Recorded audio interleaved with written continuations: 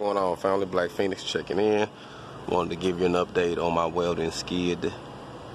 Um, i got a lot of my pieces welded up today pretty much cleaned off. Still have a few things i got to add to it. But for the most part my frame is done and welded out.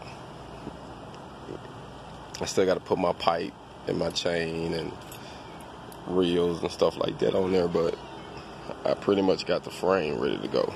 So this is my mobile welding skid.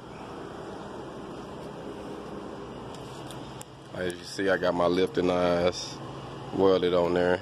I just got to cut my holes out for my uh, shackles and we're good to go. Hold on.